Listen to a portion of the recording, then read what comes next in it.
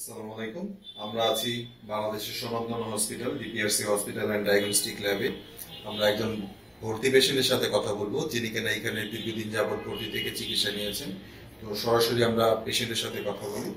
জি আসসালামু আলাইকুম। ওয়ালাইকুম আসসালাম। জি আচ্ছা শুরুতে আপনার নামটা জানতে চাই আমার। নাম অনিল চন্দ্র পাল। অনিল চন্দ্র পাল। আচ্ছা আপনি থাকেন কোথায়? জুরাইন পুস্তকালা জুরাইন পোস্তগলাতে থাকেন। আচ্ছা কি করেন সেখানে? আমি একটা জুয়েলারিতে কর্মরত আছি সেলস হিসেবে জুয়েলের কোম্পানি আচ্ছা সেলস হিসেবে আচ্ছা আপনি ডিপিআরসি হসপিটালে কেন এসেছেন? কেন এসে কেন ট্রিটমেন্ট নিয়েছেন আমার বেতার সমস্যা কোমরের আচ্ছা। চার পাঁচ বছর বা পাঁচ সাত বছর আরও বেশি হবে।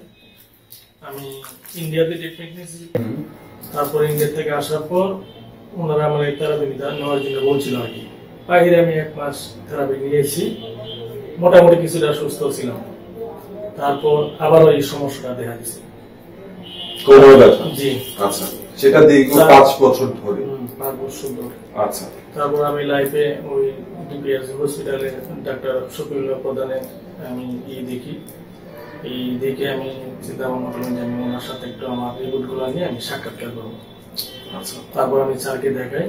স্যার বলল যে আপনি যেহেতু এক বছর আগে ট্রিটমেন্ট নিয়েছেন এখন এখানে নতুন করে পরীক্ষা নিরীক্ষা করে তারপর আপনি ব্যবস্থা করবেন আচ্ছা আচ্ছা আপনি এই ডিপিআরসি হসপিটালে আসার আগে বেশ কিছু জায়গাতে আপনি চিকিৎসা নিয়েছিলেন কিন্তু সেখানে কোনো উন্নতি হয়নি হয়েছে মোটামুটি ভাবে দেখা গেছে আমি থেরাপি নিয়েছি তারপর সুস্থ হয়েছি কিন্তু পুরোপুরি আমি সুস্থ সম্পূর্ণ সুস্থ হন আচ্ছা তারপর আপনি ঠিক করলেন আপনি ডিপিআরসি হসপিটালে আসবেন। হ্যাঁ। আচ্ছা এখানকার ঠিকানাটা আপনি কোথায় পেয়েছেন? এই যে লাইভে দেখছেন মোবাইল ইউটিউবের মাধ্যমে ইউটিউব এবং আচ্ছা ইন্টারনেটের মাধ্যমে তাই তো?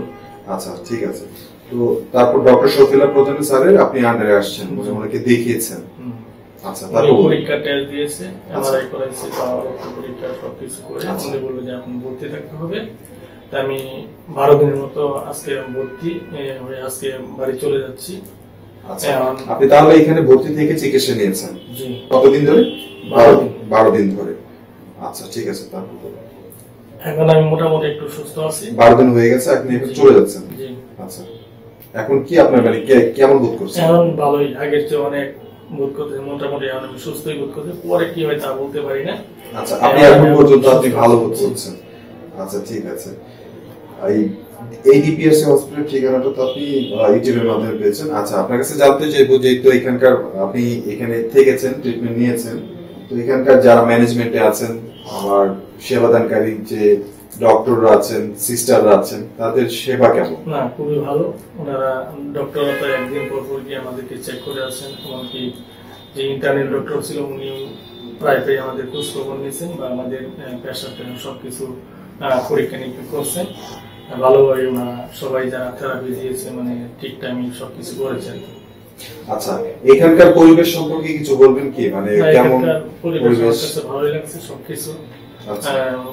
চিকিৎসা পদ্ধতি আমার কাছে ভালোই লাগছে। আচ্ছা চিকিৎসাগুলো কি কি মূলত আমাদেরকে বলবেন কি?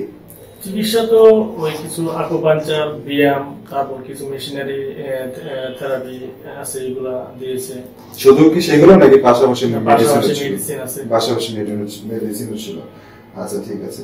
আচ্ছা অন্যান্য রোগীর উদ্দেশ্যে ডিপিআরসি হসপিটাল সম্পর্কে আপনার কি মতামত? অন্যান্য রোগ বলতে যারা বাদ বেশ- বিশেষজ্ঞ প্যারালাইসিস ওনারা তো অনেকে আমি দেখলাম তারা মোটামুটি ভাবে দেখলাম যে না এখান থেকে সেবা নিয়ে অনেকেই সুস্থ পথে আছে। যারা বাদ ভুগছেন জি তাদেরকে আপনি অ্যাডভাইস করছেন? জি। আছে আমি আচ্ছা, দেখলাম। তারাও treatment নিচ্ছেন, তারাও আচ্ছা। ট্রিটমেন্ট তাতে মোটামুটি আমি পার্শ্ববর্তী আমার একটা রুমে একটা প্যারালাইসিস রোগী উনি অনেকদিন কষ্ট করতেন তাতে দেখলাম অনেক ইমপ্রুভ হয়ে গেছে। অনেক কিন্তু প্যারালাইস রোগী ছিল। জি। আচ্ছা। আচ্ছা এক সাইড ছিল। ছিল। তাতে আমার সাথে পাশাপাশি রুমে ছিল। তাতে দেখলাম যে অনেকটা ইমপ্রুভ হয়ে গেছে। আচ্ছা ওনারা ইমপ্রুভ হচ্ছে আপনার চোখে দেখা। জি। আচ্ছা। ওনারা বলছে এক মাস থাকার জন্য। হয়তো উনি সুস্থ হয়ে যাবেন আমার মনে হয়। আপনি আশাবাদী? জি। আচ্ছা ঠিক আছে। আপনাকে অশেষ ধন্যবাদ আপনার মূল্যবান সময় দেওয়ার জন্য এবং মূল্যবান মতামত দেওয়ার জন্য। ধন্যবাদ। আমাদের নতুন নতুন নিউজগুলো প্রতিনিয়ত আপডেট পেতে আমাদের ইউটিউব চ্যানেলটি সাবস্ক্রাইব করুন এবং ডান পাশের বেল বাটনটি চাপুন। ভালো লেগে থাকলে আপনাদের সোশ্যাল মিডিয়ায় তা শেয়ার করুন। আমাদের সাথে থাকার জন্য ধন্যবাদ।